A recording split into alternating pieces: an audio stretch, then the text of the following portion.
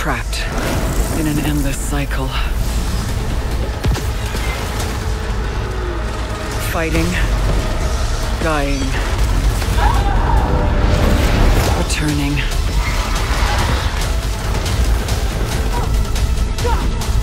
Always the same, yet always changing.